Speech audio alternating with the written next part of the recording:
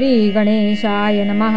जय जी करुणाकरा। जय जयाजी यतीवरा भक्तजन संतापहरा सर्वेश्वरा गुरुराया लीला वेशधारी दत्ता सर्वसाक्षी अनंता विमल रूपा गुरुनाथा परब्रह्म सनातना तुझे चरित्र अगाध केवी वर्णुमी मतिमंद परी घेतला असे छंद पूर्ण केला पाहिजे तुझ्या गुणांचे वर्णन करिता मागे सहस्रवधन निगमागमासही जाण नसे पार लागला तुझे वर्णावया चरित्र तुझ सम कवी पाहिजेत.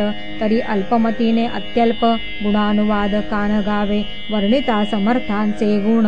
नाना दोष होती दहन. सांगता ऐकता पावन वक्ता श्रोता दोघेही अक्कलकोटी वास केला जना दाविला अनंत लीला उद्धरिले कैक पाप्याला अद्भुत चरित्र स्वामींचे. असो कोणे एके दिवशी इच्छा धरोनी मानसी गृहस्थ एक दर्शनासी समर्थांच्या पातला करोनिया श्रीची स्तुती माथा ठेविला चरणावरती तेव्हा समर्थ त्या ते वदती हास्यवदने करोन फकीराते देई खाना तेणे पुरतील सर्व कामना पक्वाने करोनी नाना यथेच्छ भोजन देई जे गृहस्थे आज्ञा म्हणून गेली नाना पक्वाने फकीर बोलाविले पाच जण जेऊ घातले तयांते फकीर तृप्त होऊन जाती उच्चिष्ट उरले पात्रावरती तेव्हा समर्थ आज्ञापिती गृहस्थांते सत्वर शेष अन्य करी ग्रहण. तुझे मनोरथ होतील पूर्ण. परी त्या गृहस्थाचे मन साशंक झाले ते दवा. म्हणे यवन याती अपवित्र. त्यांचे कैसे घेऊ उच्चिष्ट यातीमध्ये न कष्ट. कळता स्वजना गोष्ट हे. आला मनी ऐसा विचार. तो समर्थांस कळला सत्वर. म्हणती हा अभाविक नर कल्पना चित्ती याची या इतक्या माझी साहजिक कोणी भ्रमिष्ट गृहस्थ एक येवोनी स्वामी सन्मुख स्वस्त उभा राहिला. दारिद्र्यग्रस्त झाला म्हणून भ्रमिष्ट फिरे रात्रंदिन द्रव्य मेळावया साधन त्याजवळी नसे परी त्यासी देखोनी समर्थ म्हणती हे उच्चिष्ट घे त्वरित तो निशंक मनात पात्रावरी बैसला त्यासी बोलले समर्थ तू मुंबापुरी जाई त्वरित सफल होतील मनोरथ द्रव्य प्राप्ती होईल स्वामी वचनी भाव धरिला तत्काळ मुंबईस आला. उगीच भटको लागला. द्रव्य मेल म्हणून प्रभात समयी एके दिवशी गृहस्थ निघाला फिरायासी.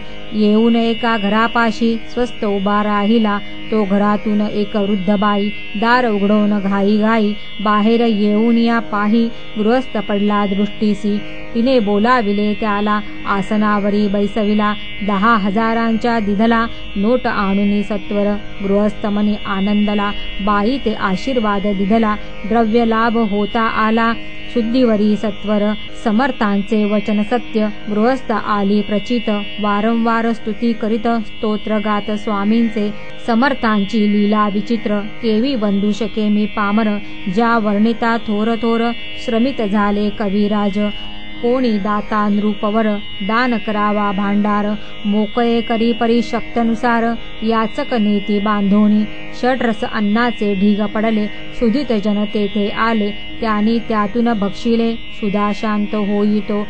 स्वामी चरित्र भांडारातून रत्ने घेतली निवडून. प्रेमादरे माल करून सोतयाचे कंठी घातली. श्री स्वामी चरण सरोजी विष्णू भ्रमर घाली रुंजी. अत्यादरे चरणपूजी शंकर स्तोत्र गातसे. इति श्री स्वामी चरित्र सारामृत नाना प्राकृत कथा संमत सदा ऐकोत भाविक भक्त विसावाध्याय गोडहा श्रीरस्तु शुभं भवतु।